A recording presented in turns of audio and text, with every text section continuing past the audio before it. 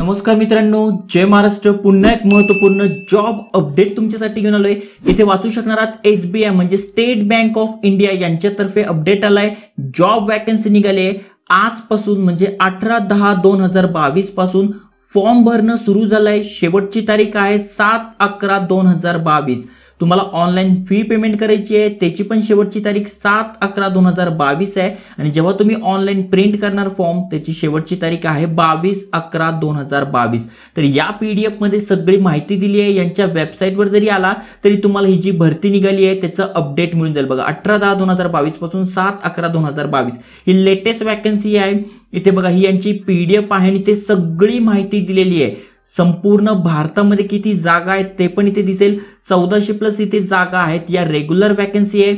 आणि या बॅकलॉगच्या वॅकन्सीज किती आहे? बावीस वॅकन्सी आहे. तर डिटेलमध्ये सगळं समजून सांगतोय. आपल्या महाराष्ट्रामध्ये तुम्ही बघितलं महाराष्ट्र गोवामध्ये तर इथे टोटल दोनशे जागा आहेत. कास्टनुसार पण दिलंय. कशा प्रकारे अप्लाय करायचं एक्झाम कशी होणार आहे सगळं मी तुम्हाला डिटेलमध्ये समजून सांगतोय. एकदम थोडक्यात आणि छोटा व्हिडिओ बनवतोय पण सगळं समजून सांगतोय. त्याआधी आयकॉनिक मराठी चॅनलवर नवीन आला असाल चॅनल सबस्क्राईब केलं नसेल तर नक्की चॅनल सबस्क्राईब करून बेल बटन दाबून ऑलवर क्लिक करा. महत्त्वपूर्ण अपडेट फ्री कोर्सेस भरपूर सारे व्हिडिओज बनवतोय बिझनेस आयडियाजवर व्हिडिओ बनवतोय. नक्की फायदा घ्या शेअर करा.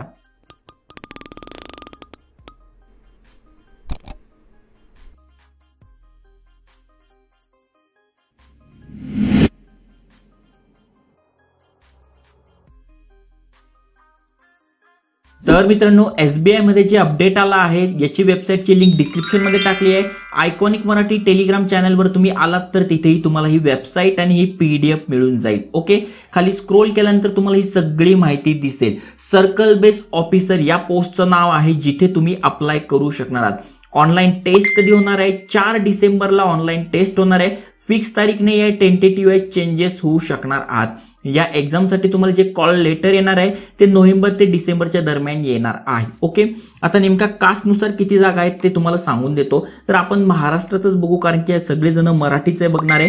तर इथे बघू शकणार एस टीसाठी तीस जागा आहे एस टीसाठी पंधरा आहे ओबीसीसाठी चोपन्न आहे ईडब्ल्यू साठी वीस आहे जनरल मधून तुम्ही अप्लाय करताय तर एक्क्याऐंशी जागा आहे. अशा टोटल दोनशे वॅकन्सीज आहे आणि तुम्ही हँडिकॅप वगैरे असाल तर इथे पण तुमच्यासाठी जागा आहेत. ओके या झाल्या रेग्युलर वॅकन्सीज सिलेक्शन कसं होणार आहे? तर सगळ्यात आधी एक ऑनलाईन एक्झाम होणार. ऑनलाईन एक्झाम झाल्यानंतर स्क्रीनिंग होणार म्हणजे कोण कोण पास झाले ते होणार. त्यानंतर इंटरव्ह्यू होणार. तर या तीन टप्प्यांमध्ये सिलेक्शन होणार आहे म्हणजे आपल्याला हा जॉब मिळणार आहे. खाली स्क्रोल केल्यानंतर इथे सगळी माहिती दिलेली आहे. महत्वाचं म्हणजे लोकल लँग्वेज येणं गरजेचं आहे. तुम्ही ज्या सर्कलमधनं अप्लाय करतात म्हणजे महाराष्ट्रातनं अप्लाय करताय तर इथे बघा महाराष्ट्रासाठी यांनी भाषा दिली आहे. मराठी किंवा कोकणी म्हणजे गोवातनं असेल तर कोकणी पण आली पाहिजे. म्हणजे मराठी भाषा तुम्हाला ते महाराष्ट्रातनं अप्लाय करणं तर मराठी येणं गरजेचं आहे. तर चांगलं अपडेट आहे. ओके आता आपण इथे इलिजिबिलिटी क्रायटेरिया म्हणजे पात्रता काय आहे ते समजून घ्या. तर तुमचं वय तीस नऊ दोन हजार बावीस रोजी कॅल्क्युलेट केलं जाणार आहे. एकवीस ते तीस दरम्यान तुमचं वय पाहिजे. आणि महत्वाचं म्हणजे जर का तुम्ही कास्टमध्ये असाल तर इथे सूट दिली आहे. एस सी एस टीसाठी पाच वर्ष ओबीसी नॉन क्रिमिनलसाठी तीन वर्ष आणि जर तुम्ही डिसेबल असाल पी डब्ल्यू बी डी असाल तर इथे बघा पंधरा वर्ष एस सी एस टीसाठी पी डब्ल्यू बी डी ओबीसीसाठी तेरा वर्ष P W B D general E W एसमधून apply करताय तर दहा वर्ष. एक्स सर्व्हिसमॅन वगैरे तुम्ही आहात तर पाच वर्षाची इथे सूट दिलेली आहे. तर हा एलिजिबिलिटी क्रायटेरिया प्लस इथे अजून एक त्यांनी सांगितलं तर एक्सपिरियन्स पण इथे मागितलेला आहे.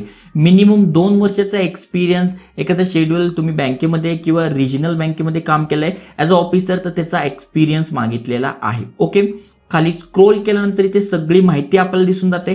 आता एक्झाम कशी होणार आहे ते तुम्हाला सांगतो. तर सगळ्यात आधी इथे ऑनलाईन एक्झाम होणार आहे. जी की एकशे वीस मार्काची असणारे दोन तासाची एक्झाम असणार आहे चार सेक्शनमध्ये English language banking knowledge general awareness आणि कम्प्युटर ॲप्टिट्यूड बँकिंग नॉलेजवर मी तुम्हाला भरपूर सारे फ्री कोर्सेस दिले.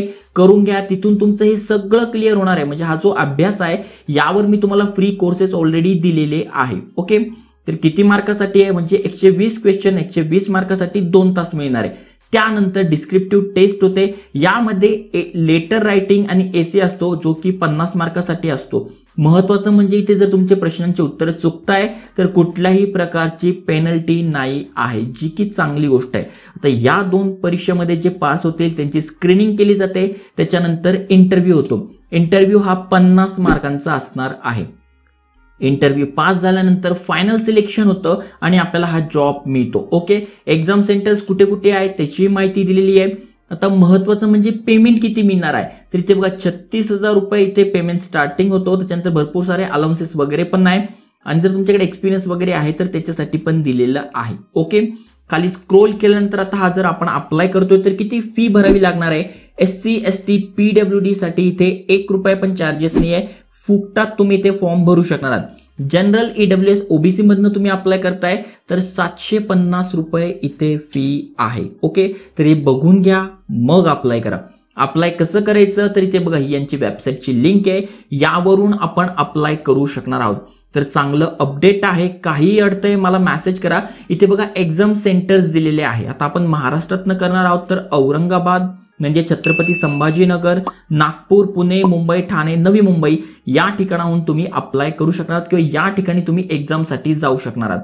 सगळी माहिती पाच पाणी पीडीएफमध्ये होती थोडक्यात सांगितलेली आहे. ही यांची वेबसाईट आहे. यावर जाऊन तुम्हाला रजिस्टर करून इथे अकाउंट क्रिएट करून सबमिट करायचं आहे फॉर्म भरायचा आहे. फॉर्म कसा भरायचा माहीत नसेल तर इथे दिले हाऊ टू अप्लाय हे सगळं वाचून घ्या आणि या प्रकारे तुम्ही फॉर्म भरू शकणार आहात. अशाच महत्त्वपूर्ण अपडेटसाठी जॉब अपडेटसाठी नक्की फॉलो करा शेअर करा.